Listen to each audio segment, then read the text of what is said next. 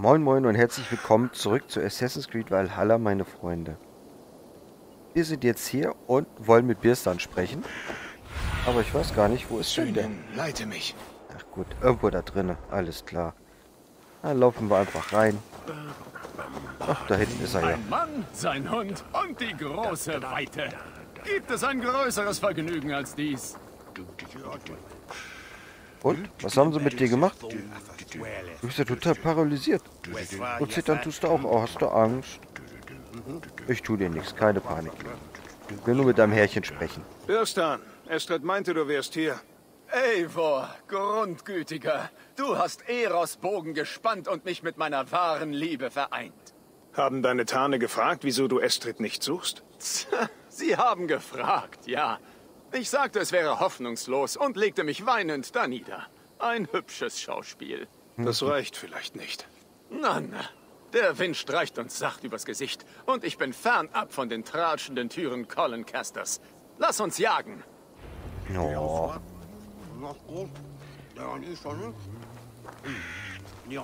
ja, dann komm. Steh auf.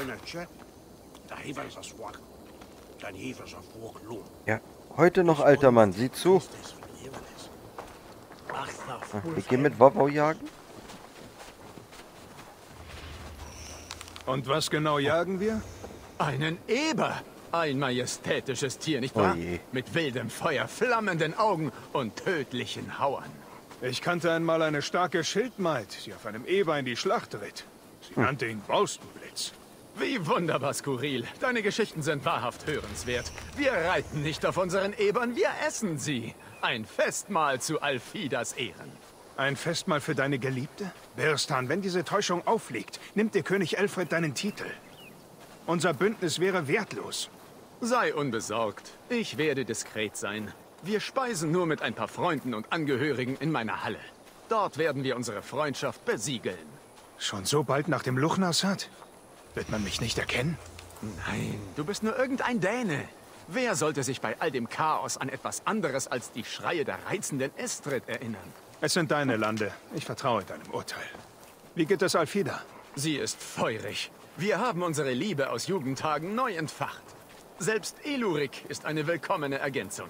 Er ist mir ein jüngerer Bruder und Sohn zugleich. Ach, ich werde ihm so vieles beibringen. Ja, hier ist es. Hier jagt es sich am besten.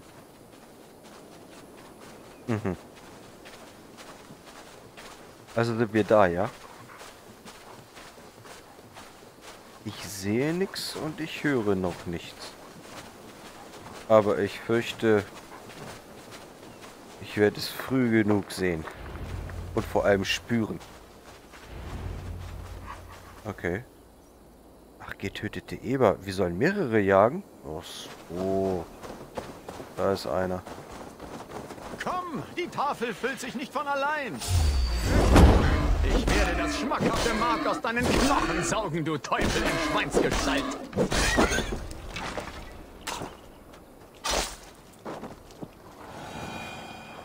Eber. Eber. Eber, mach mal gechillt. Die Arm. So, da vorne ist noch einer. Er wollte jagen und ich mache die ganze Drecksarbeit hier, oder was? Ja, das ist ja immer... Sieh dir das fette Schwein an. Es wird einen köstlichen Braten abgeben. Autsch, der hat mich plattgelatscht. Du wirst meiner Liebsten gut schmecken. Eine Lende, die ihrer würdig ist. Komm, die Tafel füllt sich nicht von allein. So, noch zwei oder drei Stück, hä? Da sind noch zwei.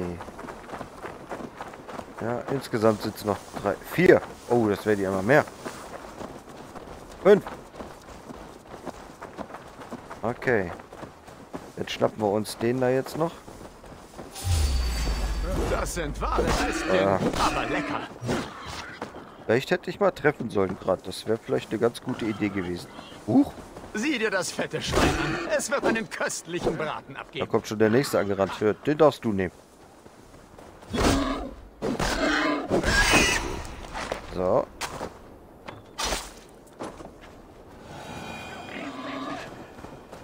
Okay, ich glaube schon. Ich werde das schmackhafte Mark aus deinen? Knochen saugen, du Teufel in Schweinsgestalt. Warum durfte ich den gerade nicht verhauen? Tafel füllt sich nicht von Okay. allein. Und jetzt noch einer, ha? Jo. Da sind zwar noch zwei, aber wir wollen nur noch einen. Da sind noch mehr. Ja, komm schon. Das sind wahre Bestien, aber lecker.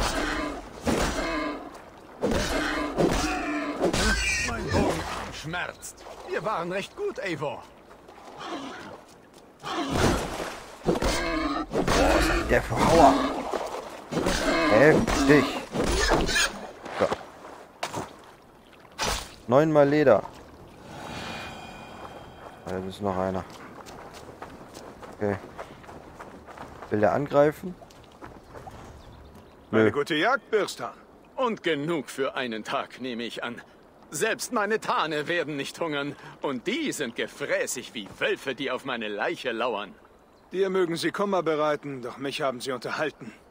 Eine willkommene Abwechslung nach all den kriegerischen Jals und schmutziger Politik.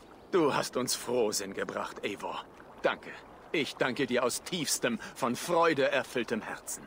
Birstan, der Herzensjäger, der seine wahre Liebe im schwermütigen Hafen seiner Erinnerungen suchte und tatsächlich fand. Schön gesagt, mein Freund. Wirklich schön.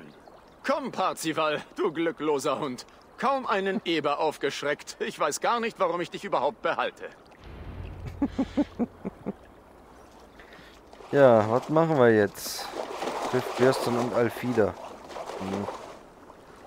Okay. Wo liegt er denn hier? Oh, oh. Den hat aber gut zerlegt hier. Ups. hat Eivor da bloß wieder angerichtet. Da ist ein Piepmatz. Soll ich mir den mal schnappen? Upsa. Hehe. Was gibt's von dem? Reiherschnabel, okay. Hm. Keine Ahnung, was ich damit machen soll, aber von mir aus. Wer bist du? Oder wer seid ihr? Was macht er denn da? Entschuldige bitte.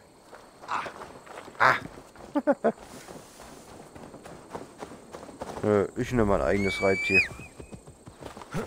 Und los geht's. Wie lauten deine Pläne für deine Familie? Diese alte Liebe birgt viel Neues in sich. Hm. Alfida hat sich verändert. Das Mädchen, das ich einst liebte, liegt hinter Jahren der Mühsal verschüttet. Und Elorek? Ein weicher Knabe mit dem entschlossenen Herz seiner Schwester. Dass sie sich so nahe stehen, spricht für sie. Er sieht mich oft sonderbar an. Seine Augen blicken verstohlen und bekümmert, wie ein Hund, der die Gärte des Herrn erwartet. Das bereitet mir wirklich Sorgen. Kann ich zugleich ihm ein Bruder und seiner Schwester ein Liebhaber sein? Gib ihm Zeit, Birstan. Er hatte seine Schwester sein ganzes Leben lang nur für sich. Ja, ja. Aber sag mir, Eivor, bist du dem Zauber meines Vögleins erlegen? Ihr Blick allein kann Knie zum Zittern bringen. Sprichst du von Estrid?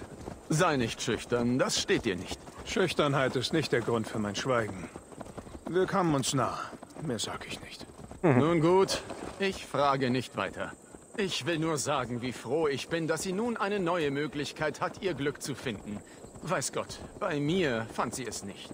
Doch das sind düstere Gedanken und ich lasse nicht zu, dass sie die Oberhand gewinnen. Heute Abend speisen und feiern. Ich darf mich nicht sehen lassen. Eine Kapuze wäre gut. Leute, ich bin mit ihm zusammen unterwegs. Habt ihr sie noch alle? Boah. Was für kaputte hier. Da läuft man neben deren Herren da lang und trotzdem verfolgen die ein. Das ist schon krank. Wirklich. Die haben alle kein Vertrauen. Okay, mir kann man eh nicht vertrauen. Besser ist. Was ist nur kaputt? Kennt der Typ auch mal eine gerade Linie zu laufen? Der schlägt Haken wie ein Hase. Huch. Naja, Eva, ich weiß, wie du dich fühlst, wenn man da so eine Dings Heim und runterknickt. Herd haben die Seele nie so in Aufruhr versetzt, wie es die Jagd tut. Doch nun, da meine Alfida hier ist, ist alles anders.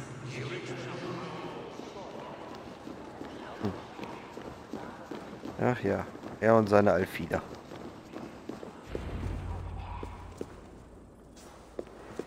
Ja, nu?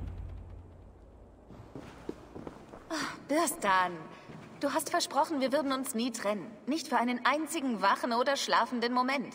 Und schon jetzt schleichst du dich davon zur Jagd. Zum Wohle des Festes, meine Liebe. Wir schulden unserem Freund viel. Und ich schwor, diese Schuld mit Spanferkel und Ale zu begleichen. Schwester, hast du vergessen, wo du bist? Ich habe ein Recht darauf, glücklich zu sein, Elorik. Oder soll ich auf ewig das Kindermädchen spielen? Du undankbarer Bengel. Glück, ja. Aber du beschämst dich jede Nacht, wenn du bei diesem geilen Bock liegst und schnaufst und schwitzt. Hüte deine Zunge. Sonst kommt so manches ans Licht. Was denn? Dass du zu diesem launenhaften Mann zurückgekehrt bist, der dich vor Jahren für ein fränkisches Liebchen versetzt hat? Dass er dann bei einem schlechten Luchnassad-Schauspiel von diesem Dänen entführen ließ? Sieh dich vor, Junge. Oder dass du dich von ihm begrapschen und ins Bett führen lässt, ohne eine Gegenleistung? Ganz Estsexe tuschelt schon. Er ist noch verheiratet. Seine Frau ist frisch entführt und du bist nicht mehr als seine... seine... Ich schenkte ihm einen Sohn, undankbarer. Sohn? Alfida? Bitte, mein Junge, ich... Das werde ich dir nie vergeben. Niemals. Oh, Oh Herr, welch frohe Kunde. Gott lächelt auf uns herab. Estrid wurde von Elfreds Männern gefunden. Sie sind unterwegs, sie zu retten.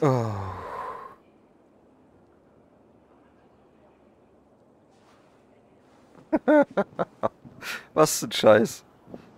Ich lasse nicht zu, dass unser Plan misslingt. Nichts ist dir gewiss, bis sie im Frankenreich weilt. Ich kümmere mich darum. Und wenn ich dich einmal rufe, wirst du kommen. Darauf kannst du dich verlassen. Okay, das Ich ist... wollte es dir sagen. Schon so oft. Still, mein Engel. Gräme dich nicht. Er hasst mich. Was habe ich getan? Wir, wir müssen ihm nach. Er wird in der Nähe sein, Lämmchen. Es wurde viel gesagt. Wenn er wirklich mein Sohn, unser Sohn ist, müssen wir daran glauben, dass er zurückkehrt. Okay, das ist...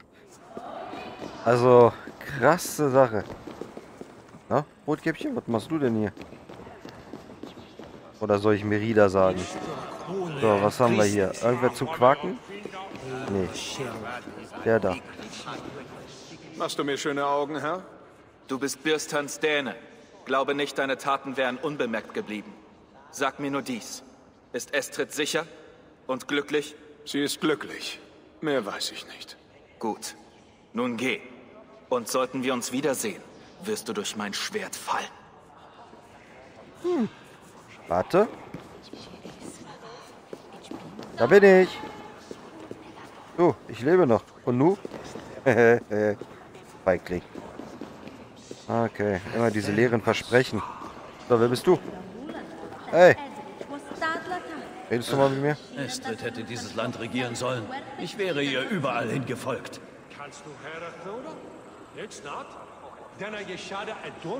Ja, und nu? Das war's schon wieder. Gespräche seid ihr ja nicht gerade, ne?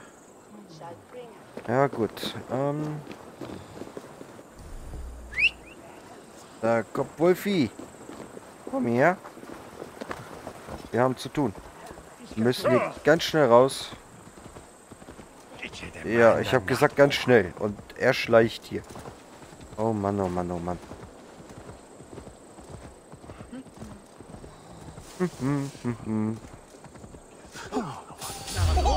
Jetzt haltet mal die Luft an, Leutchens. Wir haben zu tun. Ich habe keine Zeit mit euch zu spielen. Okay. Ja, gib doch mal Gummi. Wie oft soll ich denn noch drücken? Ah. Ja. Hoppala. Entschuldigung. Ich habe ein Eichhörnchen überfahren. So. Da hinten oder was? Wird da auch Rolf gefangen gehalten? Estrid ist der Freiheit so nah. Ich hoffe, es ist nicht zu spät. Abwarten. Ja. Scheint keiner mehr hier zu sein. Doch, da ist jemand. Da unten sind welche. Allop. Rolf! Elfreds Männer sind auf dem Weg! Was? Wie kann das sein? Locke, bleib bei Estrid. Schütze sie mit deinem Leben. Ohne sie ist alles verloren für uns und Birstan. Komm, Herren! Sie dürfen dich auf keinen Fall zurückbringen. Vorsicht! Oh, oh. Bei Oden! Nein! Okay. Gebt die Frau heraus, Dänen! Wenn sie unverletzt sind, lassen sie vielleicht leben! Da kommt die Dreckskerle! Schützt Wow. Verteidigt Autsch. das Schiff! Wer ist denn er? Der ist ja cool, der Kerl. Willst du sterben? Möchte er, definitiv. Ich lass dich ausbluten.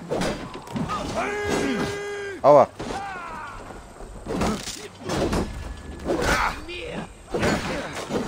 Ich hab dich schon.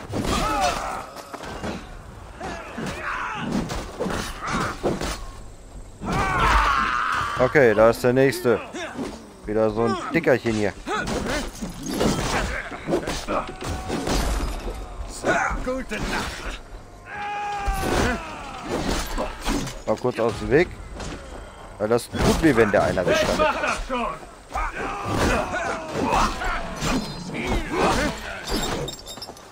Junge! So. Jetzt ist Feierabend hier. Und tschüss. Mann, oh Mann, oh Mann, oh Mann, oh Mann, oh Mann. Oh oh, da geh mal weg. Das Schiff darf nicht ablegen? Wer bist du? Ach so, nee, nee, nee, nee. Dich brauche ich jetzt gerade nicht. Ach so, der gehört nicht zu uns.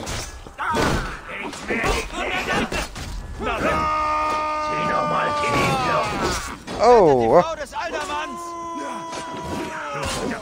aua. Aua. Tötet Rolf, den Ungestümen!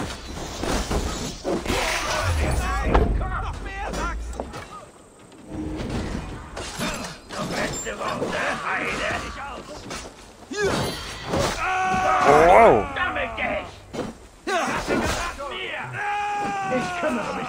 Ach, nicht schon wieder so einer. Autsch. Ich bin doch schon da. Was denn? Ja, klar. Ah, ich muss ganz viele von denen töten. Dann ist es endlich erledigt. Autsch.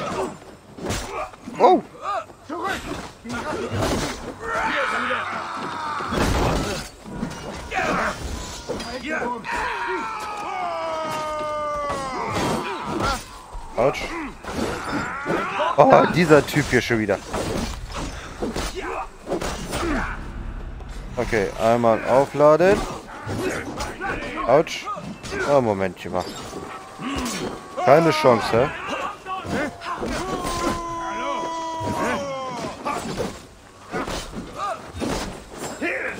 Was haben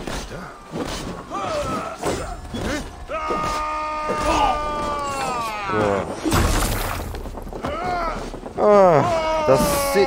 Wow! Hinterhältig angegriffen. Scharfe Waffen, saubere Treffer. Sieht nach der Klinge eines Sachsen aus. So. Wow! Okay.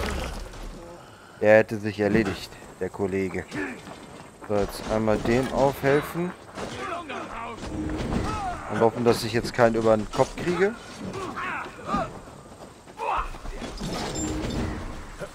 So. Den da mache ich noch.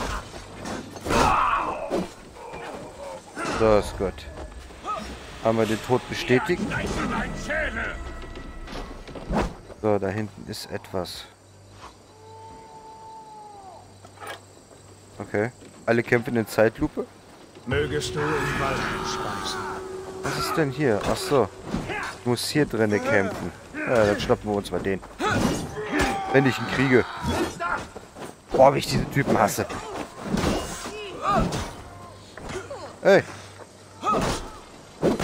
Und erledigt. So. Hä? Wie jetzt? Ich muss noch ein paar Sachsen killen.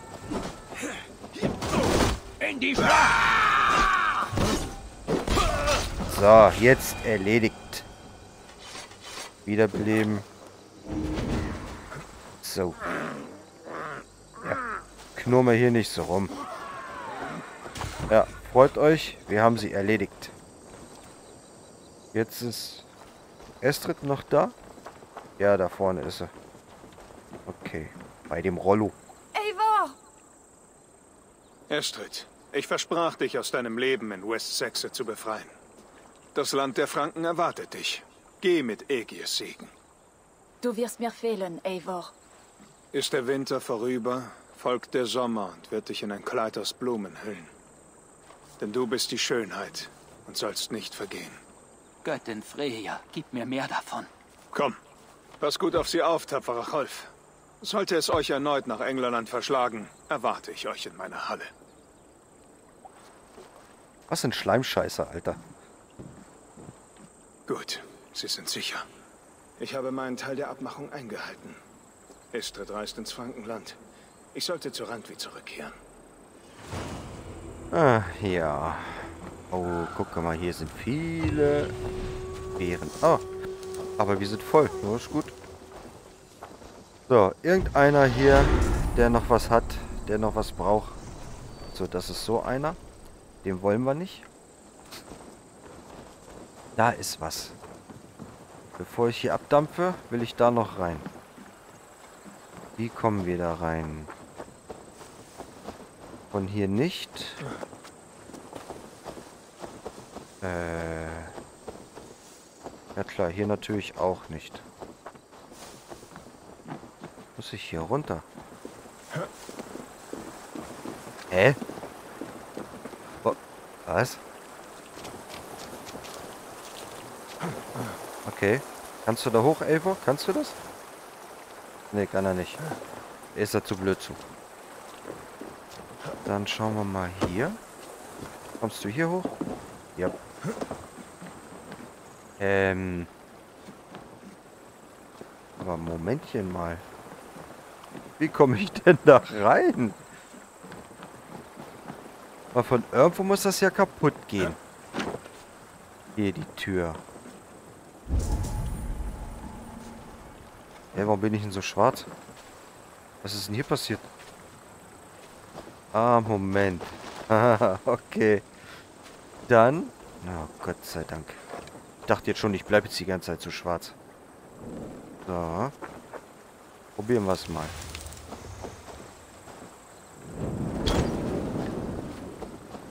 So, Masché, Ma Maché, genau. Ah, oh, hier brennt es auch noch. Weg hier. Wie gesagt, ich habe keinen Bock auch zu fackeln. Ich habe oft genug gebrannt. Irgendwann reicht's. So. Ach, nur ein Schatz. Plündern und was zu lesen. Von Tränen verschmierte Nachricht. Er weiß nicht, wie viele Überfälle und Angriffe wir schon erdulden mussten. Ich habe gehört, die Horden zu zählen, die da kommen. Ich habe aufgehört. Upp, Entschuldigung. Räuber, Wikinger, wilde Tiere. Wir sind so wenige und ich fürchte, dass wir hier keine Nacht mehr sicher sein werden. Nun werden nur noch die Geister unserer Ahnen in diesem Land hausen.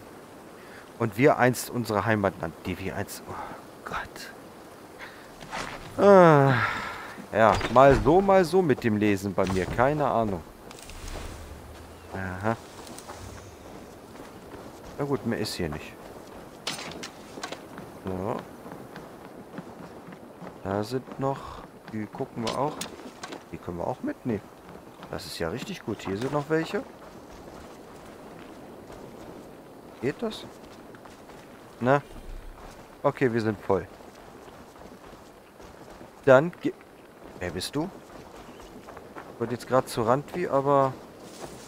Ach so, das ist sein... Kumpane. Da vorne. Seht ihr das? Ich mir mal eins von genehmigen.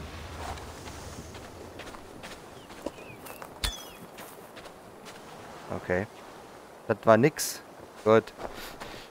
Dann ab zu Randvi. Ähm, Welt, Welt, Welt. Randvi ist hier oben. Gut. Oh. Das freut mir. Oh Gott, hoffentlich erwartet uns da jetzt nicht irgendwie eine böse Überraschung, weil wir doch Duck erledigt haben. Ich meine, er wollte es nicht anders, aber... Ja. Hm, sieht halt nicht jeder gerne. Ne? noch eine. Ja, ja, eine letzte noch. Aber nur, weil ihr alle so guten Geschmack habt. Was? Also, diese Geschichte trug... Hä? Diese Geschichte trug sich vor langer Zeit Ah. in einer Oase in der Wüste zu. Einem Ort voller Geheimnisse und Wunder. Am Tempel eines verborgenen Gottes. Der Wächter dieses Tempels war ein stolzer Mann von königlicher Natur, auch wenn er kein König war. Ein Beschützer heiligen Wissens. Die Frau des Beschützers war eine Gelehrte, die Tag ein, Tag aus uralte Schriften las, um ihnen die Geheimnisse der Wüste zu entlocken. Die beiden hatten einen Sohn, dem sie all ihre Fähigkeiten und ihr Wissen weitergeben wollten, als Verkörperung ihrer unsterblichen Liebe.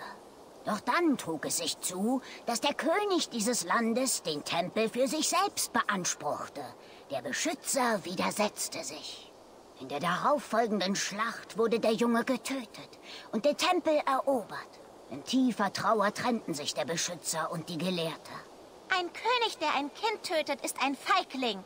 Sie sollten ihn umbringen. So ist es. Doch für lange Zeit gingen der Beschützer und die Gelehrte getrennte Wege. Stets auf Rache für ihren Sohn aus. Doch getrennt fanden sie nur Kummer und Schmerz. Allein konnten sie nichts erreichen, außer ihr Schicksal zu beweinen. Nach vielen fruchtlosen Jahren trafen sie erneut aufeinander und bejammerten ihr Scheitern. Sie schlossen sich in die Arme wie in ihren besten Tagen. Nach dieser Zusammenkunft erkannten sie, was ihnen gefehlt hatte. Nur der Bund, der ihren Sohn erst entstehen ließ, würde sie zum Sieg führen. Also lehrte der Beschützer die Gelehrte zu kämpfen, zu reiten und Spuren zu lesen, während die Gelehrte dem Beschützer Weisheit und neue Kenntnisse vermittelte. Während sie also übten und lernten, wurden sie unzertrennlich. Sie wirkten, aßen und schliefen als eine Person. Niemand sah sie je getrennt, bis sie sich eines Tages am Flussufer trafen. Sie hatten alles gelernt, sie von ihm und er von ihr. Sie gaben sich einen Kuss und trennten sich. Sie reiste nach Westen, er nach Osten. Sie wurden nie wieder gesehen. Doch es heißt, dass einmal im Jahr zwei Adler an eben diesen Ort zurückkehren, um zu verweilen und auf die Fluten zu blicken. Die Bewohner der Umgebung ergötzten sich an den Adlern. Sie hielten sie für ein Omen, ein Zeichen des Schutzes. Sie wurden zu Vögeln. Genau wie Loki zum Lachs wurde. Gut möglich. Andere sagen jedoch, die Adler wären ihre Kinder, entsprungen aus einer Liebe, die keine Zukunft hat. Doch wer vermag das schon zu sagen? Eine gute Geschichte. Fantasievoll, aber doch voll der Wahrheit. Ich? Fantasievoll? All meine Erzählungen sind absolut und fast immer wahr. Ja, fast immer, wa? okay. Dann ab zu Randvi. Hm. Ah ja, Proviant ist voll, natürlich. Ulfi, schön dich zu sehen. Ja. Eivor, hast du Werch gesehen? Wen? Petra, was ist los? Nun ja, mein Bruder. Werch sollte schon vor Stunden zurück sein, aber ich finde ihn einfach nicht. Sonst ist er immer pünktlich. Ich würde die Wälder nach ihm absuchen, doch allein wäre es aussichtslos. Hilfst du mir? Zu zweit können wir ein größeres Gebiet abdecken. Wir sollten sofort aufbrechen. Wo fangen wir an? Nahe Medes Harmstede. Dort kauft er seine Gerbstoffe. Ich weiß, dass er manchmal an einer Kreuzung auf halbem Weg Rast einlegt. Okay. Dann machen wir das gleich. Aber für euch erst in der nächsten Folge, meine Freunde. Ich wünsche euch was. Genießt alles, was ihr habt. Und wenn ihr Bock habt, könnt ihr morgen auch wieder einschalten. Dann seht ihr, wie es weitergeht. Macht's gut.